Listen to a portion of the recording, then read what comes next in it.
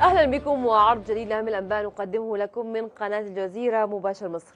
قال المتحدث باسم النيابة العامة المستشار حسن ياسين للجزيرة مباشر مصر ان ما كشف عنه تقرير اللجنة الرئاسية لتقصي الحقائق في أحداث ثورة جعل فريق التحقيق يكثف تحقيقاته في ملابسات أحداث استاد بورسعيد. وصرح المستشار ياسين أن التحقيقات كشفت عن أمور استوجبت أن تتقدم النيابة العامة إلى هيئة المحكمة التي تنظر القضية لتعيد الدعوة للمرافعة بحيث تتمكن النيابة من تقديم ما لديها وهو ما قد يكشف عن أدلة جديدة ومتهمين جدد في الأحداث. وللمزيد من التفاصيل ينضم إلينا عبر الهاتف المتحدث باسم النيابة العامة المستشار حسن ياسين. مرحبا بك معنا. بداية سيد المستشار. مرحبا بك يعني نود أن نفهم تحديدا هل هناك من أدلة جديدة أم مذكرة أو التقرير يمكن أن يقدم أدلة جديدة. نود أن نفهم بالضبط. نعم هو عقب ورود تقرير لجنة تخصص حقيقي النيابة آه لقرب الجلسة المحددة الفصل في آه دعوة آه مجزرة بورسعيد كثف فريق التحقيق تحقيقاته بشأن ما ورد من وقائع متعلقة بهذه الواقع من وقائع بورسعيد. بالفعل أورد التقرير دلائل آه هذه الدلائل آه تكشف عن أمور قد تؤدي آه الوصول إلى أدلة جديدة قد تؤدي أيضا إلى كشف اللسان عن متهمين جدد وحاليا إحنا النيابة العامة في بتبحث في هذه الدلائل وفي هذه المسائل اللي عرضت عليها واللي حواها التقرير ولكن تحتاج إلى تحقيق معمق ويتتوسع التحقيقات حتى نقوي الدليل القائم ونأتي بالأدلة الجديدة التي قد تسفر عنها التحقيقات بل ونقيم الأدلة على المتهمين الجدد اللي كشفت عنهم التحقيقات. فبال يعني نتيجة لذلك تقدم سعاده النائب العام إلى المحكمة بمذكرة طلب منها أن تعيد الدعوة للمرافعة حتى تتمكن النيابة من تقديم ما لديها من يعني تحقيقات تحوي هذه المسائل اللي تحدثت عنها جميعا في اجال مناسبة لتحكم المحكمة عن بصر وبصيرة في الواقع المطروح امامنا. نعم، طيب بعد تقدم النائب العام بمذكرة إلى المحكمة ما الذي سيترتب عليه؟ اذا لن يكون الحكم اذا يوم السادس والعشرين من يناير أو يوم السبت القادم. هذا الأمر متروك للمحكمة، م. المحكمة بتقدر ما إذا كانت المسائل اللي طرحت عليها النيابة العامة واللي المذكرة هذه المسائل بالفعل بتغير في مجرى الدعوة المطلقة فلها أن تعيد الدعوة للمرافعه لتتمكن النيابه من يعني أن توسع تحقيقاتها وأن تقدم ما لديها من أدلة ومتهمين جدد بموجب أمر إحالة تكميلي وقائما بأدلة الثبوت التكميلية أيضا لتتمكن من الفصل في الدعوة على ضوء ال ال هذه الأدلة وأمر الإحالة الجديد نعم. وقد ترى المحكمة الفصل في الدعوة فهذا الأمر متروك لتقديرها يعني يعني لا لا يوجد أمر مؤكد إذا كان الحكم سيكون يوم نعم. السبت القادم أم لا؟ لا لا يوجد أمر مؤكد،. هذا الأمر كله يعود إلى تقدير المحكمة. طيب من خلال اطلاعكم هل يحتوي التقرير على أدلة جديدة وما نوع هذه الأدلة؟ هل س... إحنا لا يمكن أن, نطلق على دليل دليل إلا إذا أتى من خلال تحقيقات. يعني ما يعني ما حواه تقرير لجنة تخصص الحقائق يسمى دلائل حتى ولو كان هو دليل ولكن يسمى دلائل وليست أدلة. هذه الدلائل بتتحول إلى أدلة حينما تقول المحكمة النيابة العامة بإجراء تحقيق ويتحول يتحول ذلك إلى أدلة بعد أن يعني تكشف النيابة العامة وتمحصها وتحققها وتأتي بالأمور المساندة لها. نعم، يعني النائب العام كانت له مداخلة على إحدى الفضائيات وقال أن هناك إن هناك أدلة جديدة ولن يتهاون، ما ملامح هذه الأدلة؟ ولماذا لم تظهر طوال عام يعني عام تقريبا إلى بضعه نعم هو طبعا هذه الأدلة كشفها تقرير لجنه تخصص الحقائق. فيعني لأن لم تكن مطلوبه أمام في التحقيقات السابقة. أيضا لجنه تخصص الحقائق لما قدم للنيابة. النيابة أجرت تحقيقات بناء على ما ورد في لجنه تخصص الحقائق بالفعل النيابة في اليومين السابقين توصلت إلى آه، يعني أمور غاية في الأهمية وفعلا بتقوي الأدلة القائمة بل وتكشف عن ادله جديده بالفعل. نعم يعني سيد المستشار أنت قلت أن النيابة كشفت عن أو اللجنة كشفت عن أمور غاية في الأهمية قد تؤدي إلى اكتشاف أدلة جديدة طوال العام الماضي منذ أن ارتكبت المجزرة وحتى اقتراب النطق بالحكم مسؤولية من أن هذه الأدلة لم يكشف عنها لكي نعم ال- والتقرير لم يقدم لنا إلا من 10 أيام فقط. أتحدث عن يعني الأدلة قدم لنا التي نعم حوالي 10 أيام الأدلة التي لم تظهر طوال نعم، العام مسؤولية من؟ قدم النيابه النيابة شكلت فريق تحقيق في هذا التقرير بالفعل ال- ال- ال- الفريق بدأ عمله ويعني اول طبعا أولى. لأن التقرير كما قلنا في بيان إنه حوى 14 جزء. آه، جزء منه متعلق بموقعة بورسعيد فالفريق أولى آه، جزء متعلق بموقعة بورسعيد أهمية خاصة وإن كان أولى جميع الأجزاء أهمية ولكن أولى الجزء المتعلق بموقعة بورسعيد أهمية خاصة آه، لقرب الجلسة المحدده للفصل في الدعوة حتى يمكن إن إحنا لو هناك جديد نقدمه المحكمة وبالفعل تبين أن هناك جديد وبالفعل تقدمنا مذكره المحكمة في هذا الشأن لتعيد دعوى المرافعة حتى نتمكن من آه، يعني الوصول للحقيقه لل آه، يعني حتى تقضي المحكمه عن بصر وبصيرة. شكرا جزيلا المستشار حسن ياسين المتحدث باسم النيابة العامة. شكرا جزيلا لك. من ناحية أخرى خرجت أعداد من جماهير ألتراس مصراوي في مظاهرة توجهت إلى سجن بورسعيد مهددين بمحاصرته احتجاجا على تأخر صدور قرار رسمي من وزارة العدل بعدم سفر المتهمين إلى مكان جلسة النطق بالحكم بالتجمع الخامس بالقاهرة. من جانبه أكد مصدر أمني مسؤول أن وزارة الداخلية لم تتلقى حتى الآن موافقة محكمة جنايات بورسعيد بشأن عدم نقل المتهمين في قضية استاد بورسعيد لحضور جلسة النطق بالحكم يوم السبت القادم في مقر المحاكمة بأكاديمية الشرطة بالقاهرة.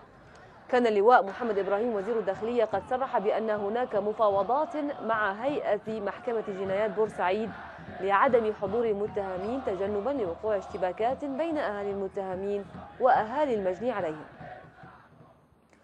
ومعنا من بورسعيد الصحفي أحمد جمال الجمال ليطلعنا كيف هي الأوضاع. إذا أحمد.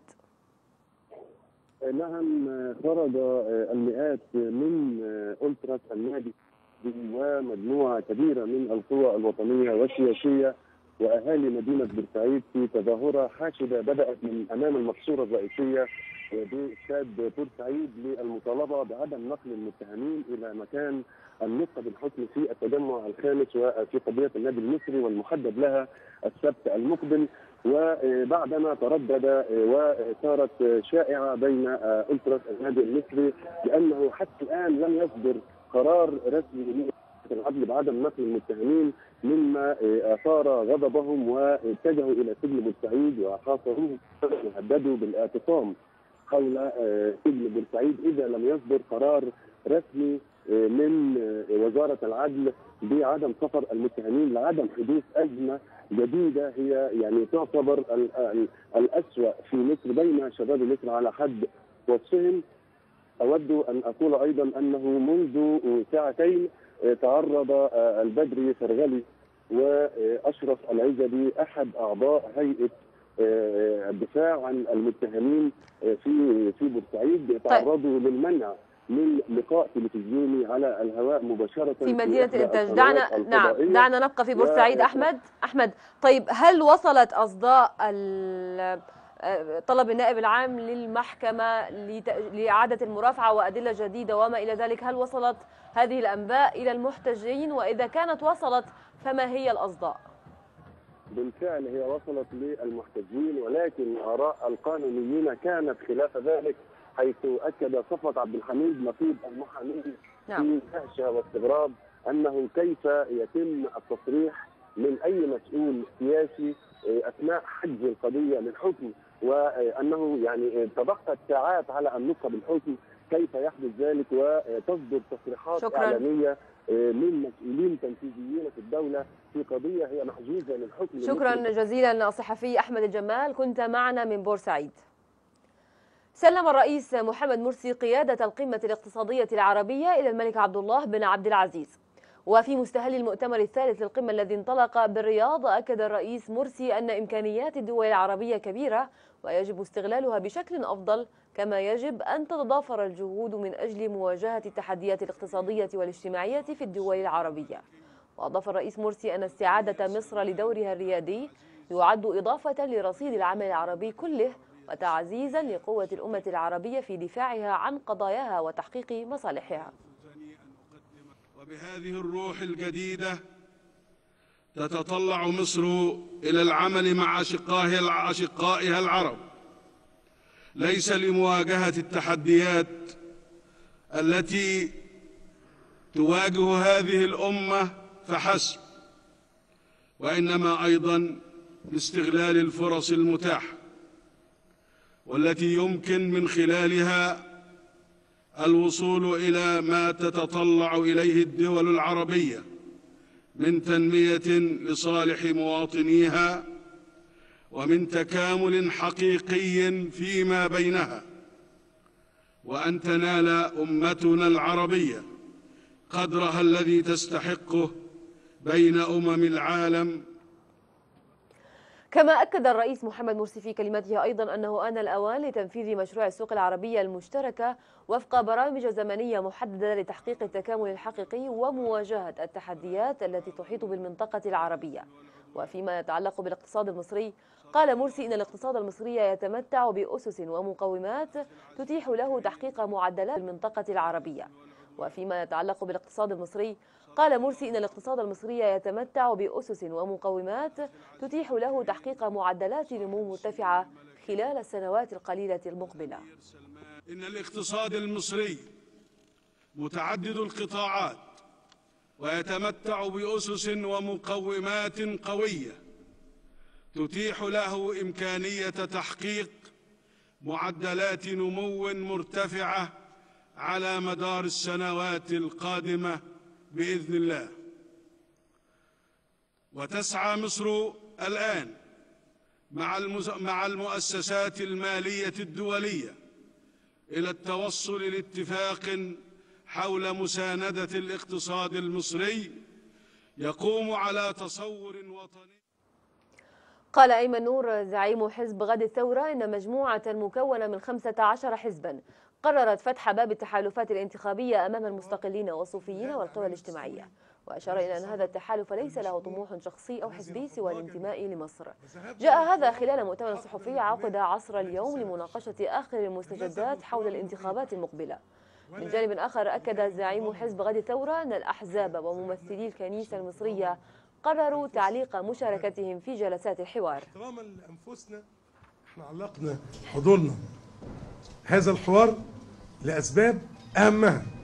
المغايرة التي تمت بين ما تم الاتفاق عليه في الحوار الوطني وبين قانون آه، انتخاب مجلس النواب والحقيقة كانت مغايرة غير مبررة وكانت في مادة واحدة وهي المادة الخاصة بتغيير يعني إسقاط العضوية إذا العضو غير انتمائه الحزبي.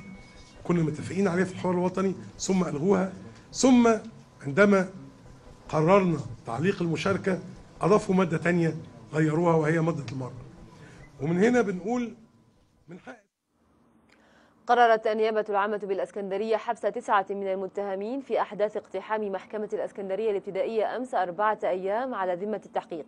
كما أمرت النيابة بضبط وإحضار عشرة متهمين آخرين بينما يتواصل التحقيق مع 31 متهما في أحداث الاشتباكات مع المتظاهرين. صرحت نيابة جنوب أسيوط بدفن جثث 14 قتيلا في حادث التصادم الذي وقع بين سيارتين على طريق أسوان القاهرة أمام مدخل محافظة أسيوط. كما تقرر تشكيل فريق من نيابتي شمال وجنوب أسيوط لسؤال المصابين وانتداب مهندس فني للمعاينة وإعداد التقارير اللازمة هذا وقد كشفت تحريات مباحث المرور أن السرعة الزائدة هي السبب الرئيس وراء الحادث. أيدت المحكمة الإدارية العليا اليوم حكم محكمة القضاء الإداري ببطلان عقد بيع شركة غزل شبين وبطلان خصخصة الشركة وإعادة كامل أصولها مرة أخرى إلى الدولة. ورفضت المحكمة الطعن الذي تقدمت به الحكومة والشركة القابضة للكيماويات. الشركة القابضة للغزل والنسيج. طعنين ورئيس مجلس الوزراء وآخرين ضد حمدي مجاهد وحمدي آه، حمدي آه، الفقراني وآخرين. حكمت المحكمة بإجماع الآراء برفض الطعنين وألزمت الطاعنين بصفاتهم المصروفات ومصادرة الكفاءه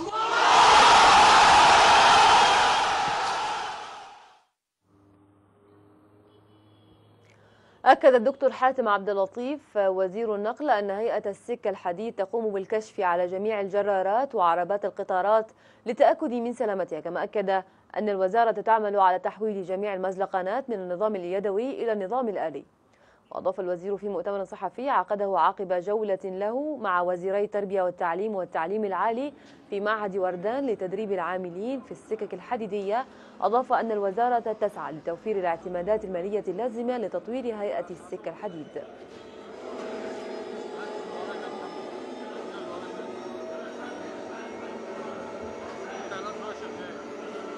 وقلنا إنه في الفترة اللي جاية دي هيتم على مدى الشهرين ثلاثة اللي جايين فحص كامل السكة على مدى الشبكة فحص كامل العربيات على على ال- ال- المملوكة لقطاع السكة الحديد وكامل الجرارات آه، المملوكة للسكة الحديد. هيتم شراء آه، مجموعة من ال- العربات في الفترة الجاية. هيتم تطوير المزلقانات آخر السنة دي هيكون إن شاء الله المزلقانات كلها متطورة وتعمل بشكل إلكتروني. اذا أنا بتكلمش على جزء عامل بشري فقط لا أنا بتكلم على كل ما هو تملكه السكه الحديد من من بنية أساسية وبالإضافة إلى نظم العاملون في شبكة الجزيرة الفضائية في الدوحة وقفة احتجاجية على اغتيال الزميل محمد المسالمة المعروف بمحمد الحوراني أثناء تغطيته لتطورات الأحداث في محافظة درعا السورية قتل الزميل محمد الحوراني البالغ من العمر 33 عاما برصاص قناص من القوات السورية حيث استهدفه القناص أثناء تغطيته بالنيابة. في منطقة بصرى الحرير. انتهى عرض الأنباء لمزيد من المتابعة والتفاصيل. يمكنكم زيارة موقع الجزيرة مباشر مصر على الإنترنت كما يمكنكم متابعة البث الحالي للقناة على الموقع ذاته. ونستقبل تعليقاتكم وأسئلتكم على صفحتينا على موقع التواصل الاجتماعي فيسبوك وتويتر. في أمان الله.